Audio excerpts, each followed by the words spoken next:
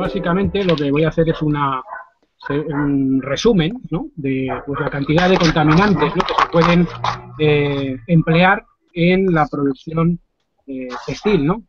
Pues mucha gente quizás no repara, no solamente sucede con el tema de la industria textil, sino en general, ¿no? con otros procesos, eh, no repara la cantidad de sustancias químicas, sintéticas o no sintéticas, que pueden estar asociadas a problemas de salud y que se utilizan. ¿no? Eh, por ejemplo, en la industria textil ya desde el, mismo campo de cultivo, por ejemplo, en el caso del algodón o de otro tipo de, eh, de materias primas que se pueden utilizar luego para, para, la producción textil, o incluso en el caso de la lana, ¿no? pues mm, se pueden incorporar eh, pesticidas.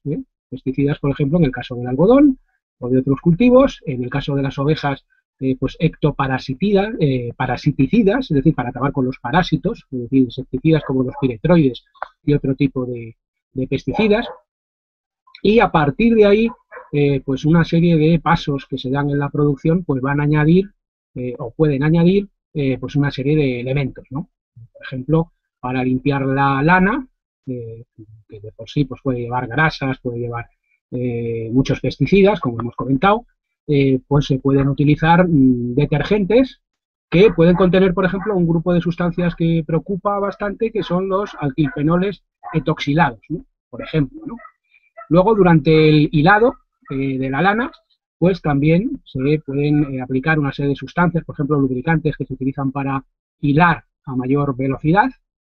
Y, mm, bueno, pues entre estos lubricantes y otras sustancias que se utilizan, pues puede haber aceites minerales que pueden ser fuente de otro grupo de sustancias que preocupa mucho a la comunidad científica por su asociación a diversos problemas de salud, que son los hidrocarburos aromáticos policíclicos.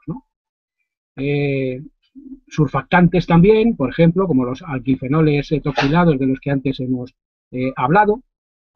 Luego también eh, para almacenar estos hilos y que no se deterioren, por ejemplo, porque surjan hongos por la humedad, pues también se pueden aplicar eh, fungicidas o se pueden aplicar también eh, bactericidas. Luego los telares, los telares para evitar la rotura de los hilos eh, por la tensión o por la abrasión de los mismos, pues estos, mm, estos hilos se preparan químicamente, se preparan químicamente con un encolado de los mismos y este encolado que se suele emplear, por ejemplo, almidón, este almidón puede recibir una serie de tratamientos químicos con unos aditivos que a su vez pueden incorporar también sustancias eh, problemáticas, ¿no? Y luego, pues más adelante, eh, tras haber tejido, eh, pues más tratamientos, por ejemplo, para eliminar esas colas que se les habían aplicado anteriormente, antes de aplicar los tintes y facilitar así la absorción de estos tintes. también se pueden utilizar sustancias blanqueadoras con cloro y, bueno, pues de estos procesos y de otros, pues se sigue eh, la posible incorporación de más sustancias tóxicas a eh, estas prendas. Eh, luego viene otro elemento, mm, otro paso que suele ser pues, de los que más preocupan, ¿no? que es el tema de los tintes y los estampados. ¿no? A veces se aplican colorantes que pueden ser colorantes tóxicos o que pueden generar tóxicos. Hay, por ejemplo, mm, colorantes con cromo que se utilizan para adherir eh, materias colorantes a la fibra. Eh, se pueden usar en alguna ocasión, se han usado eh, sales de cromo, cromo 6. El cromo 6, por ejemplo, se ha hecho muy conocido por la película Erin Brockovich, ¿no? el cromo hexavalente, que originaba esos problemas de salud de la película en, el pueblo de Hinckley. ¿no? bueno, pues esta es una de las sustancias que podrían eventualmente utilizarse en algún caso en la producción textil. ¿no? Eh, y luego para facilitar la penetración del colorante, pues se pueden usar, y a veces se usan, sustancias como bencenos, hidrocarburos aromáticos, talatos. ¿eh? Los talatos son un grupo de sustancias muy preocupantes, entre otras cosas, algunos de ellos son eh, tóxicos reproductivos, otros o esos mismos están asociados a efectos de disrupción endocrina. La disrupción endocrina pues es uno de los aspectos de la toxicología que más preocupan hoy en día a la comunidad científica, porque para aquellas sustancias que son disruptoras hormonales, pues no está claro, por ejemplo, que pueda existir un umbral claro seguro de exposición a las mismas, porque son sustancias que pueden alterar, pueden afectar el equilibrio hormonal. Eh, las hormonas en el organismo actúan a niveles muy bajos de concentración y aunque las concentraciones de bajas eh, de estas sustancias, las concentraciones de estas sustancias eh, que puedan entrar en el organismo sean muy bajas, por ejemplo a través de talatos o de otros contaminantes de, este tipo, no hace falta concentraciones muy altas, es lo que nos dicen los científicos, para que se puedan generar efectos. ¿no? Y luego, bueno, pues también hay eh, colorantes y pigmentos que pueden ser tóxicos en sí mismos. Algunos colorantes, por ejemplo, pueden causar dermatitis de contacto eh, u otros efectos. Y, eh, luego está el acabado, el, proceso de acabado, donde también se aplican una serie de tratamientos, por ejemplo, para que las prendas mm, pues no se arruguen, o para que no huelan, por ejemplo, tratamientos biocidas para que no actúen una serie de organismos sobre esas prendas eh, o para que no encojan, ¿no?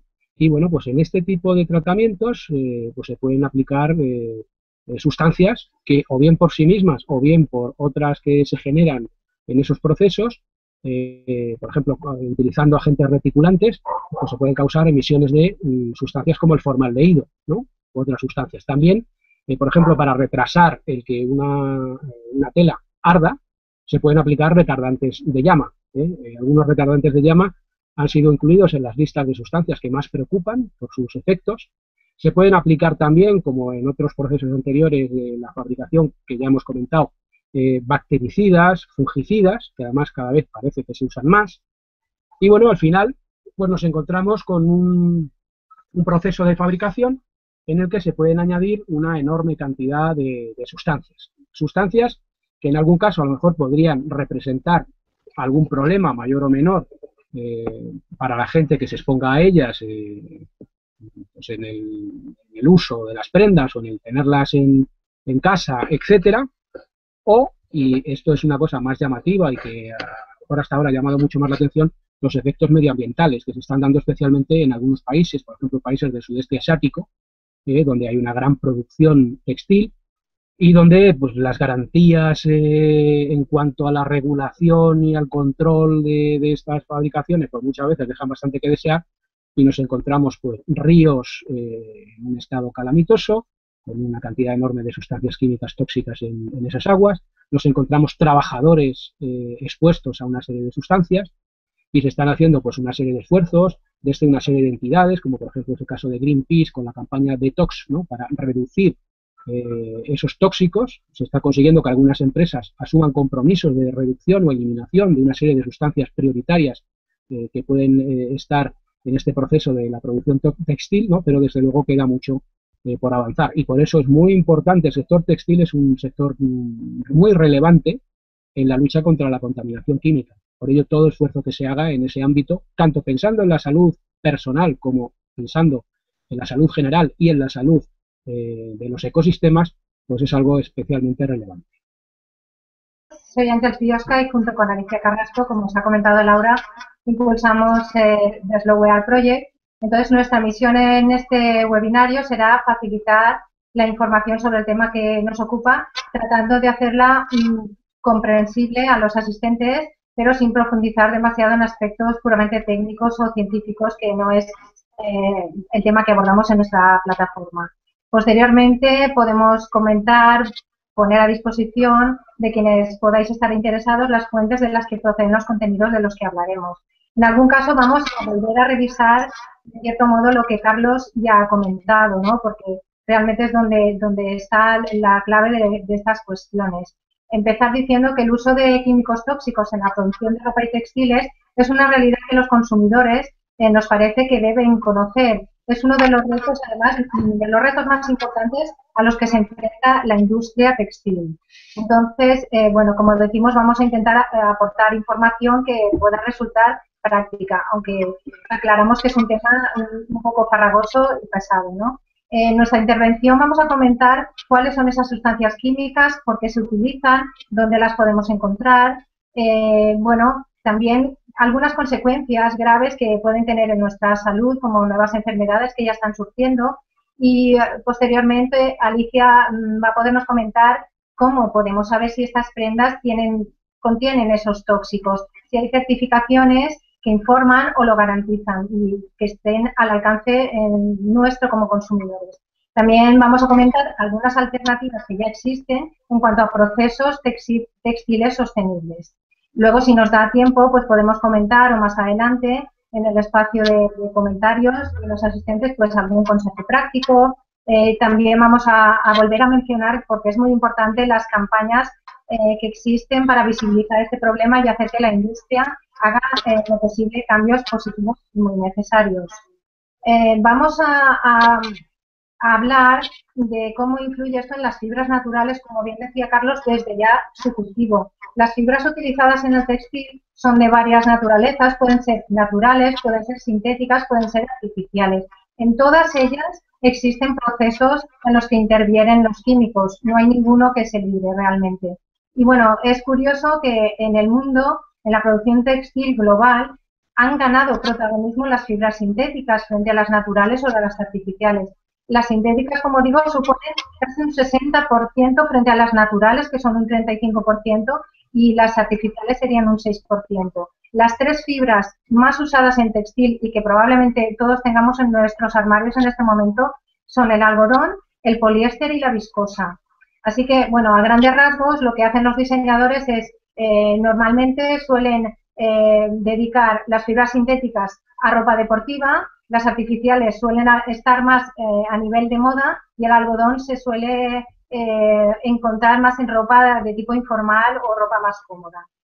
Bueno, en el proceso, como bien decía Carlos, de producción de los textiles es donde se produce eh, gran parte de la huella medioambiental negativa, ¿no? Es un proceso muy complejo, se compone de muchas etapas, podríamos estar aquí hablando toda la tarde, pero bueno, tampoco queremos cansar mucho y, y, bueno, es un poco pesado el tema, vamos a abreviar diciendo que evidentemente la, primera sería el hilado, la tejeduría, el desencolado, el desengrasado, la mercerización, el blanqueado, el pintado, la estampación. También en los acabados encontramos todos estos aditivos químicos eh, que se utilizan para producir las telas. Eh, estos aditivos serían en textil desencrudantes, detergentes, dispersantes, desencolantes, enzimáticos, suavizantes, fijadores de color, blanqueadores ópticos y etcétera, etcétera, eh, es muy largo, ¿no? Eh, evidentemente, mm, como estamos comentando, hay campañas como las de Greenpeace, esta organización internacional, eh, que realiza sistemáticamente informes científicos e investigaciones muy interesantes que evalúan precisamente el uso de estas sustancias peligrosas desde la contaminación en los ríos hasta el contenido tóxico en las prendas, ¿no? Sus campañas, como ha dicho Carlos, detox es muy importante y el informe también muy recomendable que se llama puntadas tóxicas. Eh, bueno, pues eh, el propio Greenpeace nos comenta 10 de las sustancias altamente peligrosas, pero que sí que están en el textil, que se utilizan en el textil. Serían los alquifenoles, talatos, ya comentados, retardantes de la llama, bromados y cromados, los colorantes azoicos, los compuestos orgánicos de estaño, los perfluorados, clorobencenos, disolventes clorados, clorofenoles y parafinas cloradas de cadena corta. Bien, estos nombres son un poco eh, difícil ¿no? de pronunciar incluso. Eh, podemos tranquilizarnos un poco al menos en lo que respecta a Europa, porque hay directivas que obligan y que eh, en algunos casos es obligatorio realizar pruebas que determinan el riesgo potencial que tenemos sobre nuestra salud. ¿no? Se realizan esfuerzos para evitar las que son más negativas, eh, pero claro, estamos hablando de Europa, no sabemos, como también recordaba Carlos, que se hace en el sudeste asiático, donde se hace gran parte del textil eh, del mundo, ¿no? Pero esta norma que se llama, esta legislación se llama REACH, que corresponde a las siglas Registro, Evaluación, Autorización y Restricción, es muy interesante y sintetiza cinco leyes que existían anteriormente y regula la producción, la importación y la venta de sustancias químicas o productos que las contienen y su propósito es limitar la exposición humana ambiental a ciertos químicos, especialmente, como repetimos, a los considerados altamente tóxicos. Esto es muy importante. No es lo mismo tener prendas fabricadas en Europa que están bajo estos controles que en otros eh, lugares del mundo que evidentemente no conocemos si controlan o conocemos que no controlan, lo cual es todavía peor. De las fibras que se utilizan en el textil, vamos a hacer un, pequeño repaso y, bueno, volver a repetir que en todas ellas se utilizan procesos eh, que, utilizan químicos tóxicos, sustancias tóxicas. Eh, evidentemente los pesticidas son los primeros que se utilizan en el origen, en el campo de cultivo, especialmente del algodón convencional, no del orgánico, que sería otra cosa. Entonces, eh, bueno, hay una cifra que ya mucha gente puede conocer, pero que es fácil de memorizar. bueno, yo creo que es interesante la próxima vez que, tal vez tengamos en nuestras manos eh, una opción de compra de algodón, pues tener en cuenta esto, ¿no? Por ejemplo, los cultivos de algodón suponen un 3% de la superficie de cultivo del mundo en cambio utilizan el 25% de los pesticidas a nivel mundial. O sea, esta descompensación entre un 3% y un 25% yo creo que ya eh, puede reflexionar un poco sobre si al planeta y a las personas que, trabajan y visten este material nos compensa todo esto. Hay otras fibras como puedan ser el bambú, eh, que bueno, son de rápida regeneración, antibacteriana natural, por lo cual esta planta pues no necesita casi pesticidas. Para su procesado químico, para que se convierta en fibra que se pueda hilar, pues también se emplean una solución, por ejemplo, de disulfuro de carbono, hidróxido de sodio y ácido carbónico. Esto pasa lo mismo con la soja, que es una fibra que además de en alimentación también se utiliza como materia prima en, moda. El lino, pues también eh, tiene propiedades similares a las de algodón. Tiene la ventaja de que requiere un uso de pesticidas mucho menor que el de, el de algodón, pero claro, mm, se arruga mucho, lo queremos ver eh, con otro aspecto, entonces se somete a procesos para mejorarlo y para facilitar el planchado, con, los, con lo cual pues intervienen estas sustancias también. El cáñamo es una fibra de mucha resistencia, se trata de un cultivo que crece sin plaguicidas y sin productos químicos. Levis, por ejemplo, fue la primera gran marca en moda en utilizarlo. Pero bueno, también tiene un proceso de extracción en el que sí que intervienen eh, con asiduidad químicos aunque no es un proceso tan nocivo como en el caso del bambú, porque es una planta que tarda menos en descomponerse, con lo cual pues le cuesta menos. Eh, las fibras sintéticas. Aquí está el rey de las fibras de las que hay que huir, que sería el poliéster. El poliéster es un 48% de la, de la producción textil en el mundo y, claro, está hecho de productos químicos procedentes del petróleo, nada más y nada menos. Puede ser del crudo, al igual que la gasolina la producción mundial de poliéster es eh, en su eh, 100%, pues de un 100%, el 70% se destina al textil y el resto principalmente, por ejemplo, en bases de bebidas. Implica esto procesos muy, muy, muy intensivos en el uso de químicos para crear el famoso polímero PET hasta convertirlo en fibras de poliéster. Y además, cuando llega al final de su vida, que tal cual hacemos las cosas, pues la verdad es que no apuramos la vida útil de las prendas y si la, tiramos a un vertedero, pues es un grave contaminante que tarda centenares de años en descomponerse. Eh, en cuanto a fibras artificiales, la más eh, utilizada es la viscosa o rayón, que también procede de la celulosa y en su proceso intervienen muchísimos químicos tóxicos como la sosa cáustica, el ácido sulfúrico o el sulfato de sodio, así que es mejor desterrarlos de, de nuestro armario porque son muy poco sostenibles. En cambio, de las celulósicas existen otras eh, que son menos nocivas, como pueden ser el modal y el biocel, y la más amigable con el, medio ambiente sería el tencel. También procede de la pulpa de la madera, pero su proceso es mucho más amable con el medio ambiente y las personas, como digo, porque se trata con un disolvente, pero que no es tóxico. Bueno, tras este empacho de, terminología, eh, yo voy a concluir hablando un poquito por encima de lo, lo, que son las consecuencias en nuestra salud. Ya hay estudios en Europa que demuestran el algodón que llega al mercado, por ejemplo, pues está contaminado con residuos de pesticidas y de químicos. Eso ya es una realidad que, se ha detectado y se ha estudiado científicamente. También se detectan cada día más enfermedades que tienen que ver con los elementos químicos a los que estamos expuestos diariamente.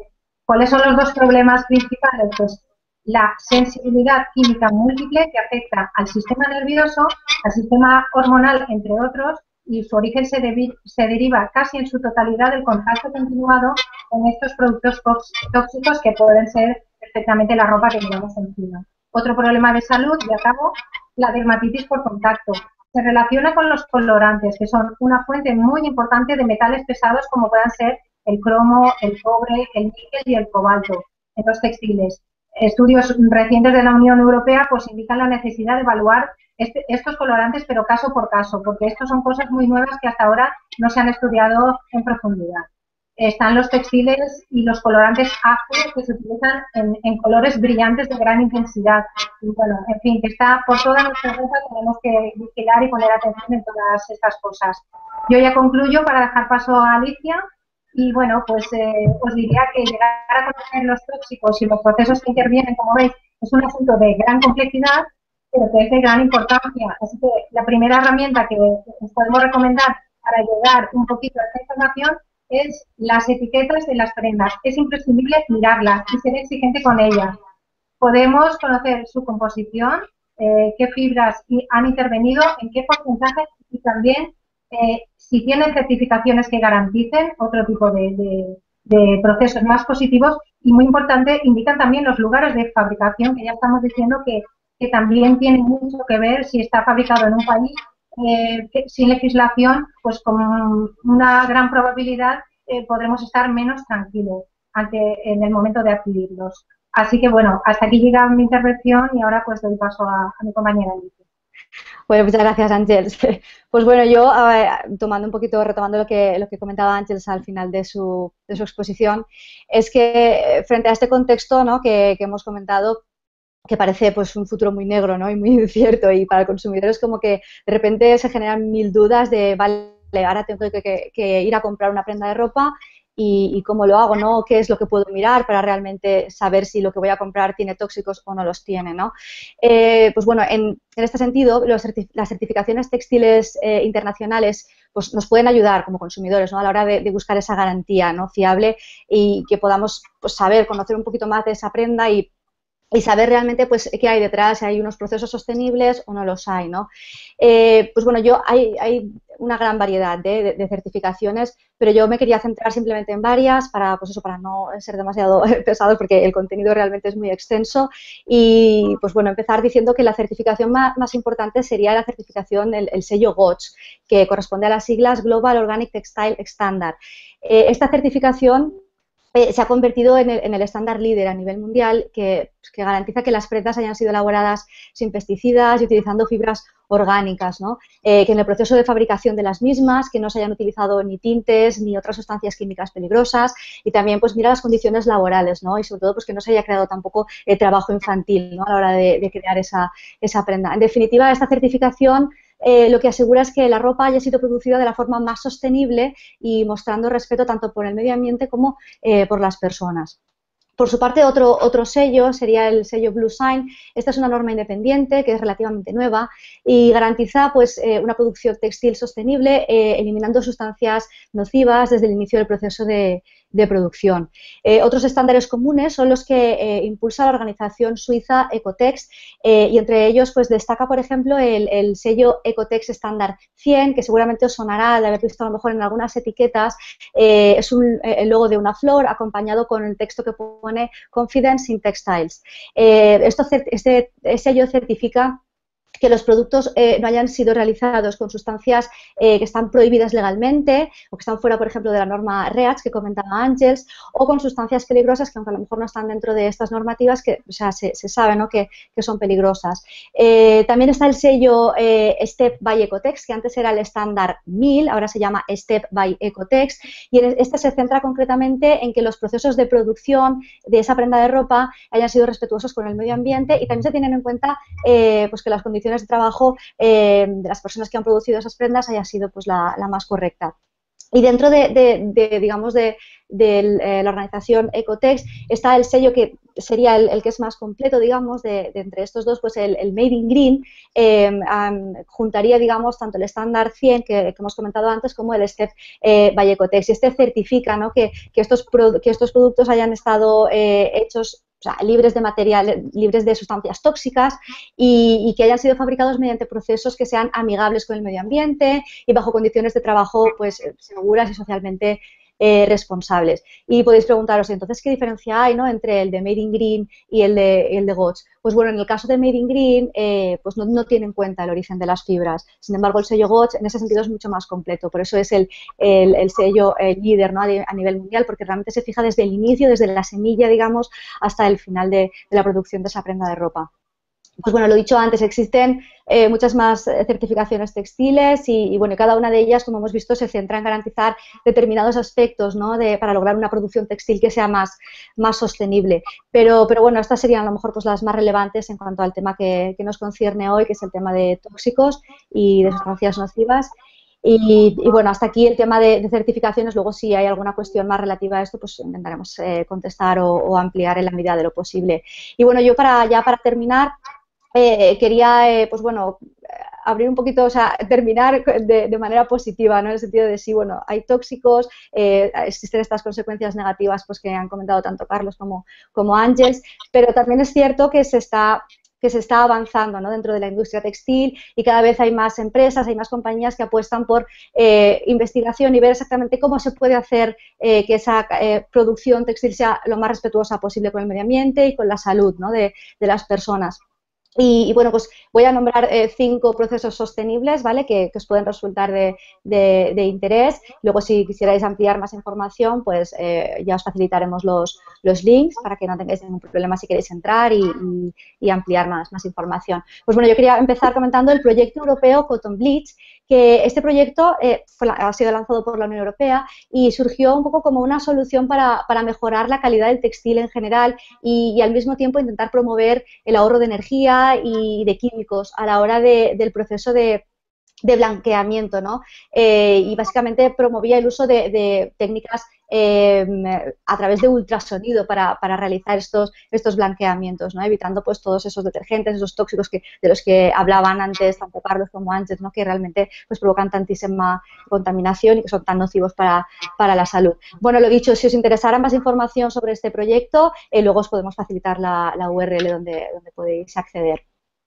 Eh, otra tecnología que, me gustaría comentar es la tecnología ColorZen, que se basa en un pretratamiento al que se someten las fibras de, algodón y que hace pues que el proceso de tintado de estas fibras sea más eficiente y que, tenga a la vez un menor impacto en el medio ambiente. Concretamente con esta tecnología lo que se permite es tintar el algodón tres veces más rápido, con un 75% menos de energía y, ahorrando un 90% menos de, agua, ¿no? O sea que bueno, también en su página web, que es www.colorcen.com, podéis conocer un poquito más de esta tecnología. Por ejemplo, pues bueno, una forma de realizar una compra pues más, más, consciente sería, pues, por ejemplo, intentar ver pues, que si en esa prenda de ropa en la etiqueta estuviera eh, el simbolito de color C, pues diríamos, bueno, pues ya sé que realmente esto eh, se ha realizado de esta manera, utilizando esta tecnología y que por lo menos pues, bueno, se ha utilizado menos agua, no se, han utilizado tóxicos, etcétera, etcétera.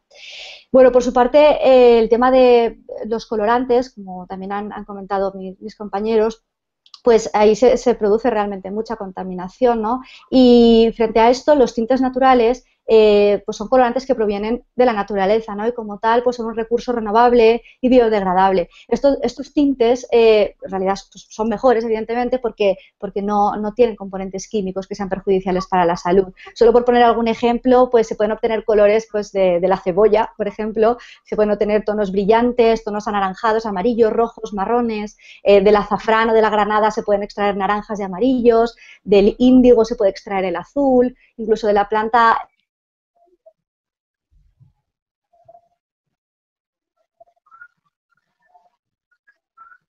Nos hemos quedado sin aviso.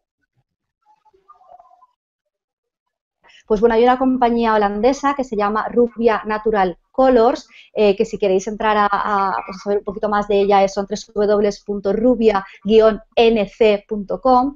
Eh, pues ellos, ya llevan tiempo intentándolo y, básicamente ellos están utilizando sus propias plantas que cultivan bajo, bajo licencia y han conseguido convertirse en el líder en el, mercado para tinte natural de hilos, de tejidos, de cuero, de papel, incluso de cosméticos.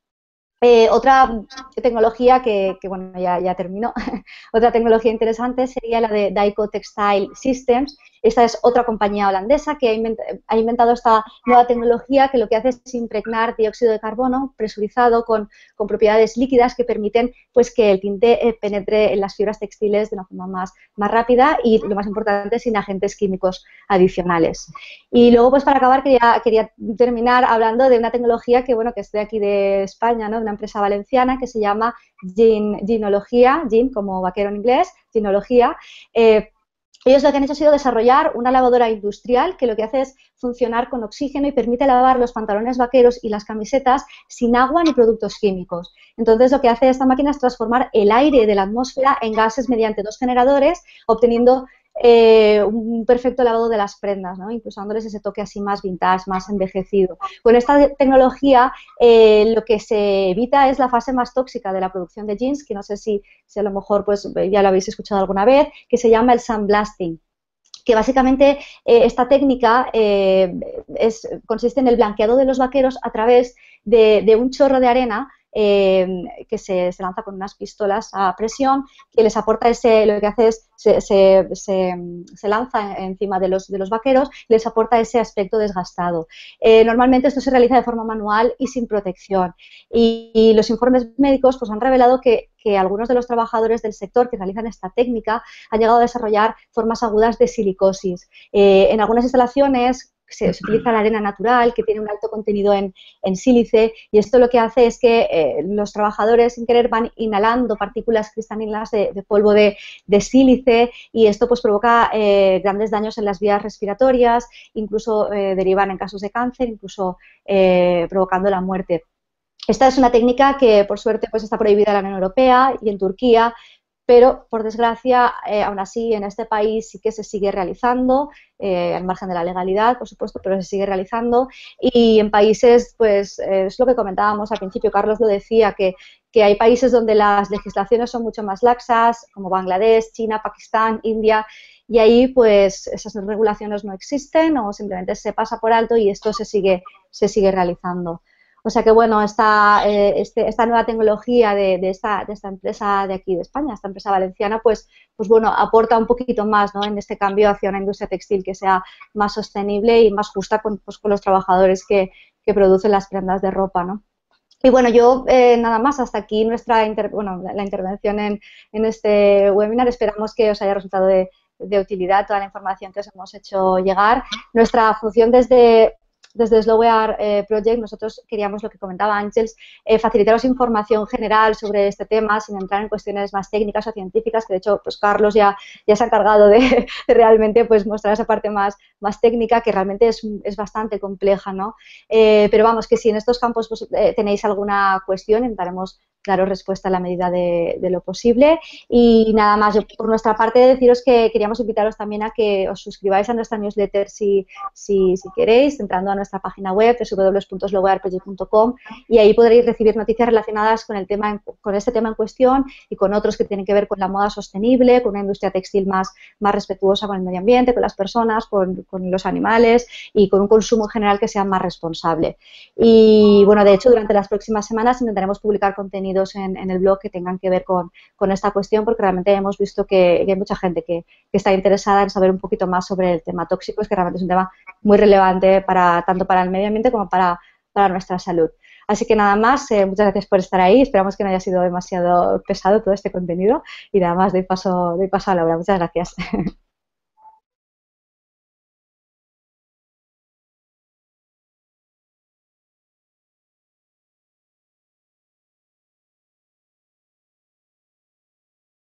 Bueno, creo que, lo hemos comentado ya. Esta norma se llama en Europa, se llama REACH, R-E-A-C-H, y es una norma que, tiene pocos años. Antiguamente había cinco normativas diferentes, pero se ha sintetizado en esta legislación que es muy importante y que ya se está aplicando. Pero claro, estamos en los inicios y, bueno, poco a poco se irán incluyendo más cosas. Esta rige para Europa.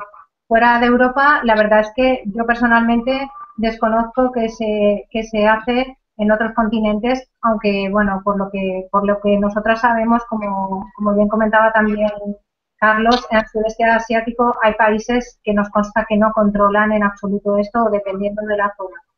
Eso es lo que yo podría comentar.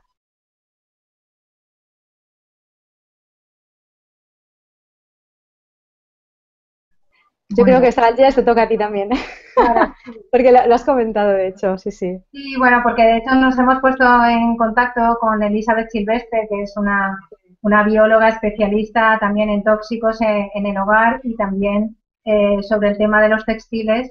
Eh, bueno, y evidentemente, pues el key de la cuestión en estos temas es también qué responsabilidad tenemos los consumidores una vez esa prenda ya está en nuestras manos, cómo, cómo la mantenemos, cómo la limpiamos, eh, con qué tipo de detergentes eh, para no contribuir, digamos, o para eliminar los que, los que ya lleva. Evidentemente es complicado, pero por otra parte ella siempre dice que tenemos los detergentes en la cocina, ¿no? Que eh, evidentemente mm, nos podemos saltar, por ejemplo, el tema del, jabón, no es por suciedad, muchas veces lavamos por otro tipo de cosas, por el sudor del uso, por, por, un montón de cosas, pero no porque las prendas lleguen a estar sucias y necesiten ser lavadas tanto como lo hacemos. Y bueno, pues recomendable intentar buscar jabones bio, eh, que también, bueno, podemos hacer referencia porque lo tenemos a mano. Jabones Beltrán es una empresa de Castellón que, que tiene jabones bio, pero hay muchas más marcas, ¿no? Esta es porque la tenemos cerca y la conocemos.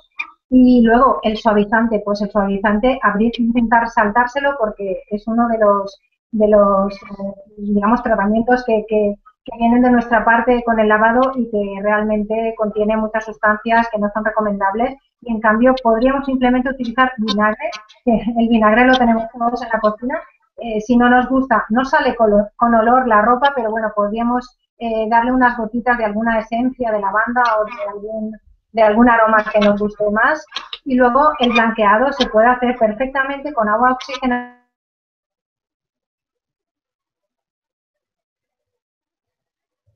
fáciles y que son baratas y las tenemos muy a mano. Así que bueno, es probarlo.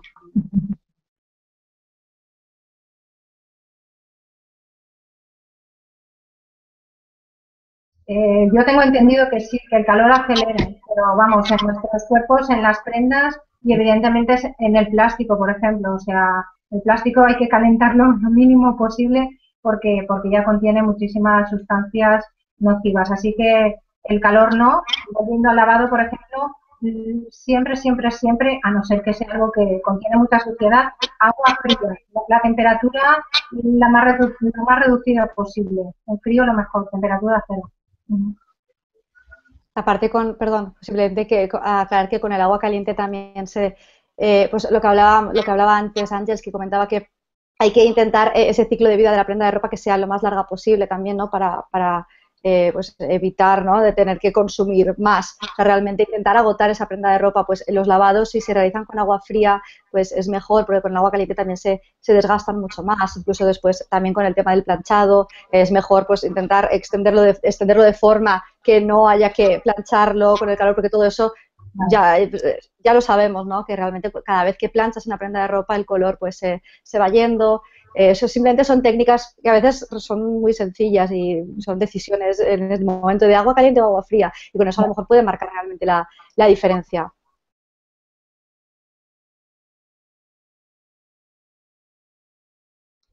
Pues mira, tenemos la suerte de poderos decir que sí y además es una de las marcas que tenemos en nuestra guía. Tenemos una, una guía de marcas en nuestra página web, de Wear Project, y hay una empresa que no solo tiene eh, prendas acabadas de algodón orgánico, sino que además es un proyecto precioso que va desde el origen. Tienen las plantaciones en Brasil, es algodón orgánico de primerísima calidad y además es un algodón que es natural con los colores de la tierra. No hace falta aplicarle tintes porque, eh, bueno, sale en color crudo, en color marrón y en color verde. Esto es algo muy desconocido, pero eh, en la época de, Colón, cuando llegaron pues los europeos, eh, había algodón de todos los colores, había flores de algodón de todos los colores. Al final ahora la que, la que más se cultiva es un el crudo, pero por ejemplo eh, esta, marca, Organic Cotton Color, se llama, podéis encontrarla en nuestra guía,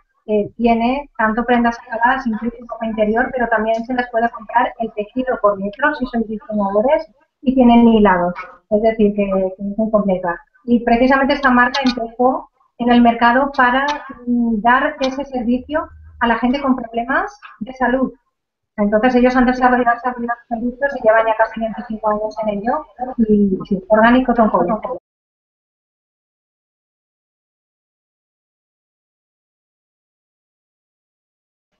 Bueno, yo diría que menos. Eh, menos, pues se va eliminando, ¿no? Digamos, pero por pura lógica. Pues, Hombre, eh, muchas prendas nuevas eh, están repletas, ¿no? De, de infinidad de, sustancias, ¿no?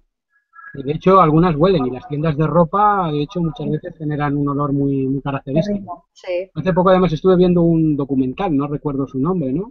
De una persona que tuvo una grave intoxicación por abrir un, eh, un camión, ¿no? Que venía cargado de ropa por las muchas sustancias que se fueron acumulando en el interior, ¿no? No sé si con el calor o como sea, ¿no? Es decir, que evidentemente al principio una serie de sustancias tienen un nivel de presencia eh, mayor y luego a medida que se va limpiando esa prenda, etcétera, aunque le puedas añadir otras sustancias, según qué detergentes utilices, suavizantes, etcétera, ¿no?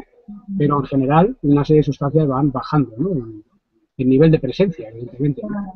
Es muy importante también pensar que la calidad es también una garantía. ¿Por qué? Porque la calidad de la fibra, eh, si es mayor, las, las fibras son más largas, entonces van, van a, resistir más y van a, en caso de ser sintéticas, mm, digamos, van a desprender menos eh, microfibras sintéticas. Las microfibras sintéticas se desprenden de los tejidos y son muy peligrosas y, por ejemplo, salió el día 20 de junio, o sea, la semana pasada, un artículo muy interesante en The Guardian que, hablaba de esto, ¿no? llegan a, envenenar la cadena alimentaria porque eh, llegan al mar. Estos son, son investigaciones que, son muy recientes y, bueno, también si queréis eh, encontrar el artículo para leerlo, es muy interesante cómo nuestra ropa está envenenando nuestros océanos y puede llegar y está llegando, de hecho, a la cadena alimentaria. Y cuanto más, más vieja sea eh, esa fibra, peor, y cuanto de peor calidad,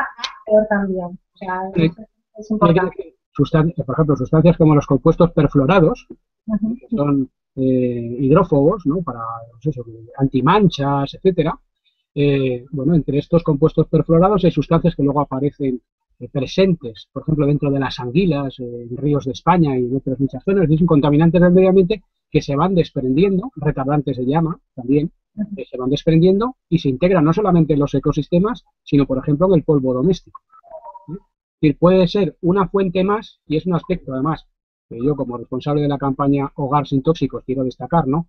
Eh, que no hay que pensar solo en una fuente de contaminación. Es decir, aquí estamos hablando específicamente del textil, pero algo que nos tiene que hacer eh, precisamente intensificar nuestra acción en el sentido de reducir los tóxicos también en el textil, es que no es la única fuente. Es decir, que en un hogar, a través de productos de limpieza, ambientadores, pesticidas domésticos, los pesticidas que podemos ingerir a través eh, de la alimentación, infinidad de sustancias eh, que puede haber presentes en el hogar o en el entorno en el que nos desenvolvemos, a ese conjunto de sustancias se unen también las que pueden proceder de las eh, prendas o de las ropas, de los tejidos, y que se van desprendiendo, se integran en el polvo doméstico, las podemos inhalar a través de la respiración, respiramos entre 15 y 20 mil litros de aire todos los días y todo eso que puede haber en una ropa, un compuesto perfluorado, un retardante de llama, eh, un alquilfenol etoxilado de estos, menudos nombrecitos, etcétera, todo eso se puede integrar en el polvo doméstico y al final acaba, lo que está en la ropa puede acabar también integrando parte eh, de nuestro propio organismo y además mezclándose con otras sustancias contaminantes que tenemos a través de otras fuentes de exposición. Y hay una cosa que los científicos están llamando mucho la atención eh, sobre ello, que es el famoso efecto cóctel. ¿no? Es decir, hay una cosa además que es muy importante. La gente piensa que las eh, normas, eh, por ejemplo lo de REACH, nos protege, ¿no? Pero hay un dato, por ejemplo, muy significativo, ¿no? El nivel seguro de exposición a una sustancia, según la toxicología oficial, se establece analizando la exposición a una sustancia aislada. Es decir, si exponiéndonos solo, exponiéndonos solo a esa sustancia, se produce o se puede producir un efecto. Lo que pasa es que nunca nos exponemos solo a una sustancia. Nos exponemos a un cóctel de cientos de sustancias a la vez. Y los estudios que se han realizado muestran que sustancias que aisladamente parecen no producir un efecto, cuando están juntas, y en nuestro organismo están juntas decenas y decenas de ellas, el efecto puede ser dramático. Es decir, que no hay que eh, subestimar ¿no?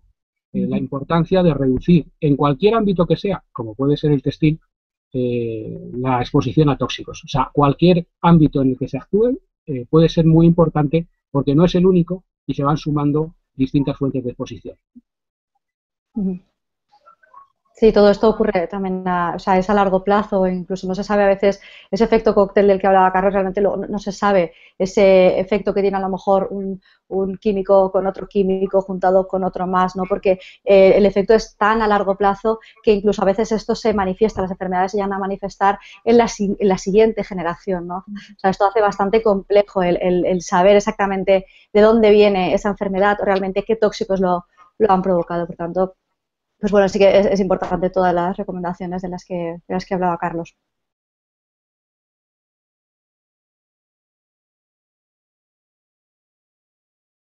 A ver, es lo que acabamos de comentar, ¿no? Eh, prendas de estas que mm, son hidrófobas, ¿no?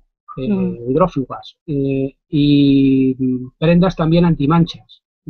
por ejemplo, pues es que tienen compuestos, compuestos perfluorados que eh, confieren esas propiedades a esas prendas, que pueden ser muy buenos, por ejemplo, para la ropa deportiva o para otro tipo de, prendas, ¿no? Eh, porque son pues impermeables, etcétera, etcétera, pero mm, son sustancias, algunas de las cuales han sido además muy estudiadas y asociadas a problemas eh, de salud importantes, ¿no?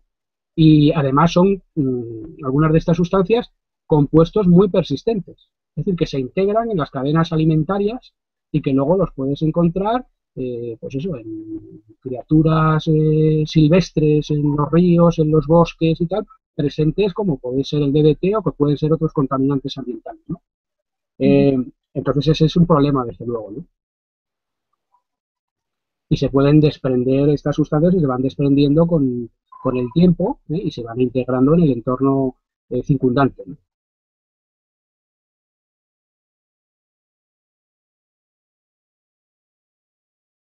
Ay, ojalá fuera así. Pero la realidad es que no, a veces, o sea, lo que hay que fijarse no es tanto en, a ver, la lógica dices, evidentemente si te vas a comprar una camiseta que vale 5 euros, pues no esperes, ¿no? Que detrás haya una serie de regulaciones, se hayan tenido en cuenta determinados aspectos, ¿no? Pero el problema viene en que si te compras una camiseta que vale 200 euros, eh, por ejemplo, una marca, bueno, no vamos a decir marcas, pero una marca pues que, sea de estas de lujo, ¿no? Una marca cara, eh, presupones, dices, bueno, aquí se supone que tiene que haber más calidad, se supone que eh, las condiciones laborales de las personas que han hecho esta prenda de ropa han, tenido que estar realmente pues, más cuidadas, realmente los tejidos tienen que ser más, de más calidad, los tintes tienen que ser mejores, etcétera, etcétera. Pero lo que ocurre es que realmente eso, en general, pues hay muchísimas marcas que, son muy conocidas y son realmente muy grandes y que tienen grandísimos beneficios, o sea, que podrían realmente dedicar eh, pues parte de, esos beneficios a, mejorar esa cadena de producción desde el inicio, desde, la, desde el, proceso de, dónde vienen esas, esas fibras hasta el final, ¿no? Pero eh, la realidad es que no porque sea una prenda más cara, eh, en ese sentido es, estará más libre de tóxicos o será de más calidad. Entonces, lo que habría que mirar sería, pues como comentábamos antes, que esa prenda, si, si vale ese dinero, pues saber qué es lo que hay detrás de esa prenda, si realmente se ha hecho siguiendo X certificaciones, si realmente sabemos que, eh, o sea, sería analizar, investigar un poquito como consumidores, eh, antes de, decir, vale, me voy a comprar esta camiseta de 200 euros, pues preguntarnos, investigar un poquito qué es lo que hay detrás de esa marca, conocer qué hay detrás. El problema viene que a veces, pues, es, es, un mundo muy, muy opaco, o sea, es, es complicado el saber esa, o sea, esa transparencia, esa trazabilidad de la prenda de ropa, dónde, de dónde viene realmente desde el inicio, desde esa, esa de algodón, dónde se ha cultivado, quién la ha recogido hasta el final, quién lo ha tintado, cómo se ha cosido, etcétera, etcétera. Es, es una cadena tan larga que eso es complicado. Yo creo, bueno, desde, desde Slowwear Project intentamos, ¿no? Que, por ejemplo, los, los proyectos que hay dentro de la guía Slowwear, eh, pues intentamos conocer esos proyectos desde el principio, es decir, de dónde viene esa semilla, por ejemplo, que va a hacer esa prenda de ropa hasta el final toda la cadena de producción. La clave en realidad está ahí, en como consumidores exigir a esas marcas a las que vamos a depositar nuestra confianza y nuestra salud incluso, eh, y la del medio ambiente y la de las personas que están en esa cadena de producción, ¿no?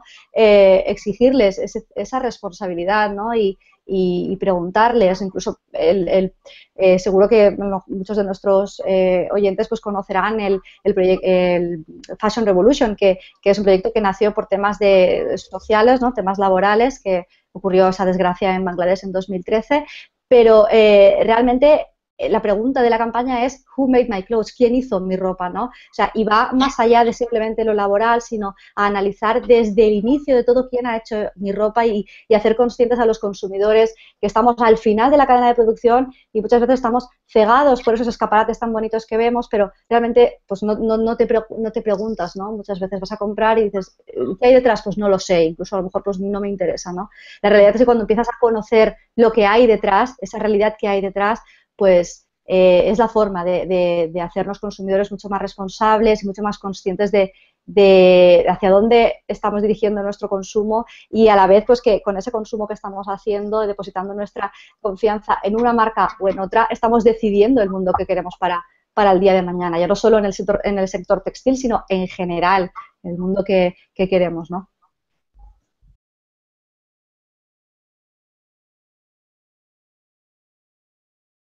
Bueno, pues la verdad es que cada día hay más, eh, bueno, más formas y desde luego con Internet podemos llegar a conocer un montón de, ofertas, eh, de talleres que te enseñan cómo hacerlo, hay tutoriales. La verdad es que es muy divertido y muy fácil. Eh, lo mejor es ir directamente a los que más saben. Si tú quieres adquirir tintes, pues Rubian, esta empresa que ha comentado Alicia, son un poco el referente. Pero aquí en España, por ejemplo, existe Mundo Lanar, que tienen en Cantabria una casa que es maravillosa, es una casa rural dedicada a esto. Tienen su huerto eh, con las flores para hacer sus tintes, te enseñan cómo hacerlo. Ellos mismos tienen una línea de textil hogar eh, hecho de esta manera y la verdad es que es, un mundo apasionante y precioso eh, al que os recomiendo pues meteros, investigar y, divertiros con ello porque la verdad es que es, que no es, no es tan complicado. Yo, yo sin saber nada de ese asunto, porque no sé nada del tema este, pero es evidente que todas las sociedades tradicionales, si uno se va a ver los mayas en México, cualquiera, que hacen su ropa, ¿no? Y toda la vida la gente se ha hecho su ropa, la ha tenido, los escoceses ahí en el siglo XIV, XI, en la Edad Media, o sea, todo el mundo, ¿no? Eh, de las telas maravillosas y se hacían sus prendas y tintes naturales. O sea, parece que somos ahora súper dependientes de sustancias sintéticas súper tóxicas y que parece que no se puede hacer nada sin envenenar. No podemos producir alimentos, por ejemplo, sin envenenar la tierra con pesticidas. Parece que no se puede producir eh, ropa sin envenenar también. Bueno, pues yo creo que simplemente por sentido común y por ver lo que se ha estado haciendo a lo largo de siglos o milenios, pues no debe ser difícil. Yo no sé nada de eso, pero vamos, simplemente viendo lo que ha sido hasta hace poco, que no era como ahora, ¿no? Eh, pues se ve que evidentemente que tiene que ser sencillo al hacerlo, ¿no? O relativamente, para el que tenga tiempo, claro, ¿no? Si la gente nos escribe, les podemos dar alguna, algunas referencias. Aquí, bueno, en nuestro caso españolas es lo que más conocemos, pero vaya, hay empresas en todo el mundo y se puede encontrar, incluso se puede encontrar hilados para tejer tus propias prendas, eh, tricotarlas ya directamente con, hilados que, están eh, teñidos de manera natural. O sea, que eso ya no es tan difícil. A lo mejor hace cinco años costaba, pero hoy en día ya va siendo, no voy a decir fácil, porque fácil tampoco sería exagerar, pero sí que va habiendo empresas que están al alcance, no es, no es complicado con Internet.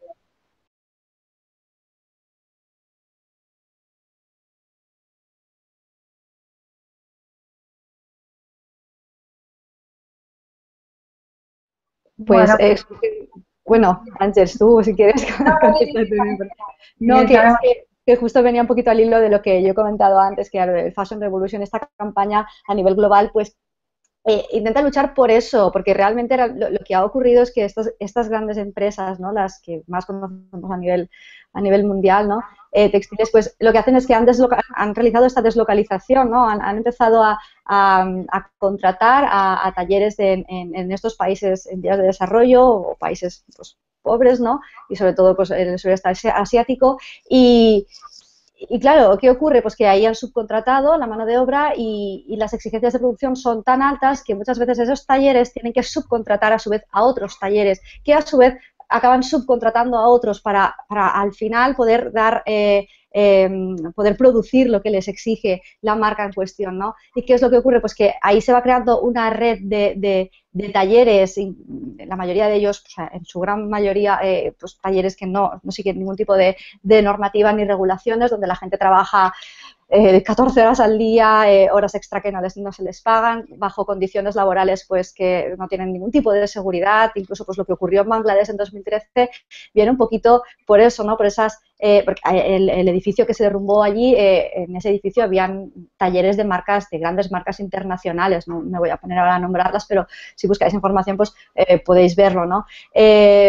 ¿Qué ocurre? Pues que es muy complicado, ¿no? Y las grandes marcas eh, también se saben las, las, eh, las, triquiñuelas, ¿no? Para evitar, pues, eh, o sea, para decir mi responsabilidad llega hasta aquí, yo no sé lo que hace mi, la persona que yo subcontrato, ¿no? Si esa subcontrata a, a, otro y esa a su vez a otro, yo ahí no llego, no es mi responsabilidad, ¿no? Entonces, pues, un poquito retomando lo que yo comentaba antes, realmente la responsabilidad recae ya al final en nosotros como consumidores, que es a qué prenda decidimos, a, perdona, a qué marca decidimos comprar realmente, ¿no? Y, sí, es una triste realidad que ocurre así, son grandes empresas que tienen grandes beneficios y que realmente pues deberían apostar por, esa seguridad laboral en esas personas que están desde el inicio en los campos de algodón hasta los que las, costureras que, hacen eh, las prendas de ropa hasta, hasta el final, ¿no? Digamos. Entonces, pues bueno, sí, eso, eso ocurre así. La gran mayoría de, de empresas europeas, pues eh, eh, tiene sus centros de producción en, estos países donde las legislaciones pues permiten eh, hacer estas cosas. hay, algunas, empresas ahora con el tema este de la campaña ahora eh, de Greenpeace, ¿no? Sí, exacto. el compromiso, que veremos a ver de qué manera se materializa, ¿no? de no utilizar una serie de sustancias prioritarias, ¿no? Que son muy tóxicas y tal, ¿no? Y vamos a ver, ¿no? O sea, a veces es la sociedad civil la que ha de forzar de una manera o de otra, según, el, eh, por ejemplo, con los hábitos de consumo o con campañas como esta de Greenpeace o otras que se hagan o lo que estáis haciendo eh, vosotras, ¿no? Eh, que haya una sociedad civil consciente y que tanto en los hábitos de consumo como en la presión sobre las empresas, porque muchas empresas no van a cambiar hasta que no se vean presionadas. Mientras a la gente no le importe un pepino, pues que estén siendo explotadas las personas y a veces envenenadas en determinados talleres de sudeste asiático, eso queda muy lejos. Por un lado, la concienciación, también para hacer crecer esa presión y esa conciencia de la población, ¿no? Pero desde luego queda muchísimo por avanzar, ¿no? Porque ¿quién está controlando lo que sucede en todas estas zonas? Más allá de estas campañas concretas, puntuales que hace Greenpeace, que va consiguiendo que algunas empresas se sumen, pero vamos a ver si se cumple eh, los compromisos que, asumen, ¿no? De, reducir esas sustancias, etcétera. Efectivamente, yo voy a comentar lo mismo, os recomiendo entrar a la, a la web de Greenpeace. En concreto, hay un, un apartado que se llama Pasarela Detox, que es ya el resumen de qué empresas han firmado finalmente el compromiso de disminuir o hasta cero, digamos, eh, eliminar los tóxicos en la producción de sus prendas. Eh, antes del 2020, pues se quiere conseguir que las más importantes y las que más eh, facturan, digamos, pues firmen esos compromisos. Y tenéis ahí el listado de, todas las empresas que ya lo han hecho. Hay que presionar, hay que firmar esas campañas. Greenpeace, desde luego, cumple un, papel muy importante, pero es lo que decimos. Estamos hablando de la ciudadanía, ¿no? de la sociedad civil, que es la que presiona. Otra cosa es a, nivel institucional, qué es lo que ocurre. Europa, pues, es un territorio más o menos eh, pero bueno, pues el sudeste asiático es, es, muy complejo. Todo esto de verdad que es muy complejo. Pues creo que no, estar un poco también a la expectativa de, la, los avances tecnológicos, tanto en los tratamientos como, por ejemplo, en el tema de las lavadoras. Las lavadoras van a tener sí o sí que cambiar esa tecnología. Se está investigando mucho en Estados Unidos, eh, pues pues también el tema de las lavadoras de oxígeno que no necesitan agua no ha llegado, digamos, a nivel comercial de que ya se puedan tener en las casas de lavadoras, pero eso va a ser el futuro. Entonces, eh, bueno, es una, una parte que, llega al consumidor que sí que, bueno, igual nosotros no lo sé, nuestros hijos, nuestros nietos verán otras tecnologías en, en, la ropa y verán otra tecnología para, para el lavado, por ejemplo, para el tratamiento El tema de las lavadoras que mucha gente no reparará, la cantidad de anuncios que hay en la televisión de todo lo que están animando a echar al agua de los ríos, que eso las depuradoras, una parte importante de ellos no lo van a depurar, Eh, y a lo mejor un detergente que se etiqueta como ecológico porque no tiene fosfatos, no tiene fosfatos, pero tiene, ¿sabes lo que puede tener, no? Y sustancias que se añaden, que se suavizantes, el efecto que eso tiene sobre el medio ambiente eh, tiene que hacer también reflexionar sobre que no solamente que nos estemos exponiendo a unos contaminantes eh, que pueden proceder de esas ropas en casa, sino el efecto ambiental que tiene todo el tema, por ejemplo, del lavado de la ropa. Aparte ya de cosas como las que hemos comentado, de los compuestos perfluorados, algunos de los cuales, por ejemplo, pues podemos inhalar en el hogar, o alquifenoles que puede haber, o talatos que puede haber en, las prendas, ¿no? Es un tema importante y yo invito eh, a las personas a investigar, porque mucha gente tiene la idea de que papá Estado nos protege, que vela por nosotros. Las autoridades tienen todo controlado, ¿no? Y no es así. Eh, realmente, a poco que uno indaga y profundiza en los temas, eh, descubre con horror y con el cabello erizado lo mal controlado que está todo, ¿no? Entonces, es apasionante, yo animo a la gente a que indague un poco, que lea un poco, que, que investigue, son temas de gran interés y que pueden tener una repercusión positiva si uno tiene unos mínimos conocimientos en el medio ambiente, en el mundo mm, en el que vivimos, en el que vivirán nuestros hijos y en el que vivirán nuestros nietos.